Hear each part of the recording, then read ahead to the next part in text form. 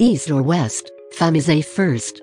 If you are giving your kids access to use a Windows system, then take a step back and watch this Windows 10 Parental Controls Guide video beforehand. Without any Microsoft account settings, your kids can access adult websites in Windows 10 and can get addicted to the internet as well. Therefore, it is of utmost importance that you set Windows parental controls on the computer first. In this way, you can share your computer with your kids and monitor their computer activity. You will also learn tips about how to block websites Windows 10 and childproof the computer with recommended parental control software for Windows 10. How to set up parental controls on Windows 10? If you are setting up Windows 10 for the first time, then you need to take a stepwise approach.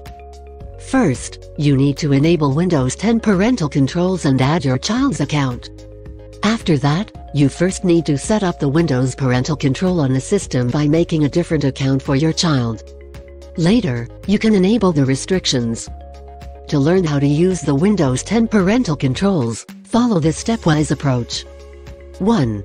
Go to Settings and step up Microsoft Family Accounts. 2.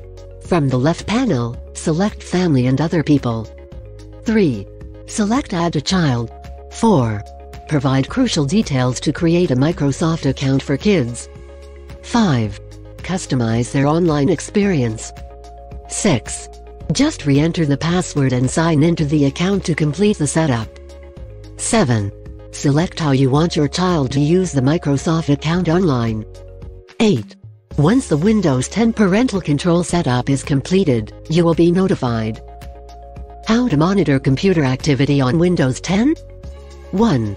Go to account.microsoft.com, log in with your Microsoft account and choose Family. 2. Click More Options and then choose Manage Permissions. 3. Turn on the option for activity reporting and history. In this way, you can get a weekly alert for their activity on your mail. How to give a wide range of parental control using parental control software? While Windows parental controls will let you monitor the way your kids access their computers, they can still have uncontrolled access to their smartphones. To resolve this, you can take the assistance of Famisafe. It is a comprehensive parental control software that will certainly help you on numerous occasions. For detailed information and tutorial, please subscribe Famisafe YouTube channel or go to famisafe.wondershare.com. We provide all-rounded information for parenting and children's safety. So much for today, we'll see you soon in the next video. Have a great day.